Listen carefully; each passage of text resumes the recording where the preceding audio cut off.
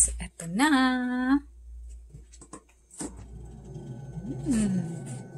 Kanina nilagay ko to one hour ago. You know, medyo matigas na.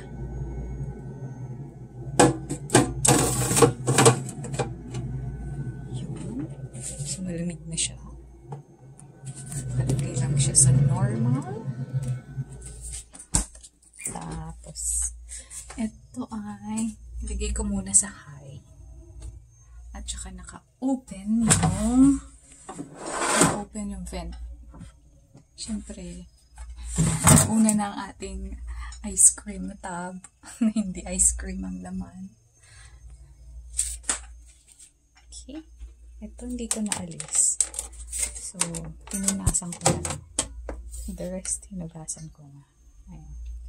Lamig na siya. So, since 3 hours na, since una nating linag, pwede na natin siyang lagyan. Okay, dokies.